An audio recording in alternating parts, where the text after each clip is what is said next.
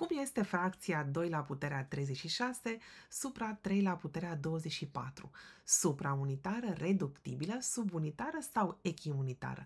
Încearcă să dai un răspuns și abia apoi o să vedem împreună de ce este sau de ce nu este răspunsul pe care l-ai dat tu. Ești gata? Păi, în primul rând, din lista de opțiuni o să tăiem reductibilă. De ce? Pentru că reductibilă înseamnă că ea se poate reduce, se poate simplifica. Dar 2 și 3 sunt numere prime între ele, adică nu le putem simplifica. Și atunci reductibilă sigur nu va fi.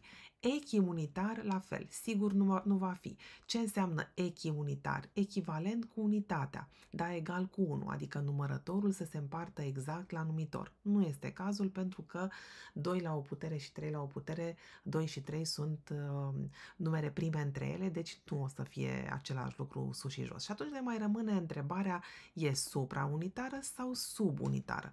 Ce înseamnă supraunitar? Supra mai mare decât unitatea, adică mai mare decât 1 înseamnă 2 la puterea 36 să fie mai mare decât 3 la 24 sau subunitară, sub 1, mai mică decât 1 înseamnă că numărătorul este mai mic decât numitorul. Deci ca să putem să aflăm ce răspuns este, trebuie practic să comparăm pe 2 la puterea 36 cu 3 la puterea 24.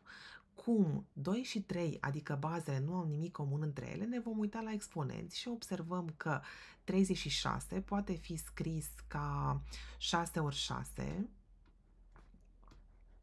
iar 24 ca 6 ori 4 puteam să facem uh, cel mai mare divizor comun între ele este 12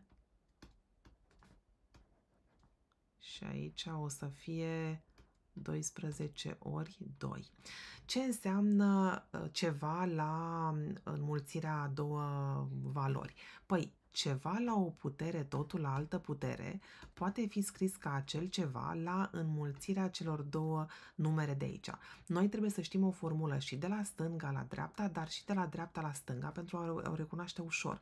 Noi aici avem 2 la puterea 12 ori 3, pe care îl putem scrie ca 2 la puterea a treia totul la puterea a 12 sau 2 la 12 totul la puterea a treia, dar o să ne alegem în așa fel încât să avem puterea comună scrisă ultima. De ce? Două numere de, sunt egale, mă rog, exponenți sunt egali, de fapt numere scrise ca cu bază și exponent sunt egali dacă bazele sunt egale și puterile sunt egale. Avem puterea 12 și aici și aici, înseamnă că o să ne uităm la cum este practic 2 la 3 față de 3 la a doua. 2 la a treia 8 Uh, cum este față de 9 la puterea 12 mai mic, deci înseamnă că numărătorul este mai mic decât numitorul, înseamnă că fracția noastră este subunitară. Răspunsul corect va fi ce? Cam multă explicație pe aici, dar pentru cei care uh, au uitat sau au nevoie să-și aducă un pic aminte, eu cred că e binevenită. O zi superbă să aveți!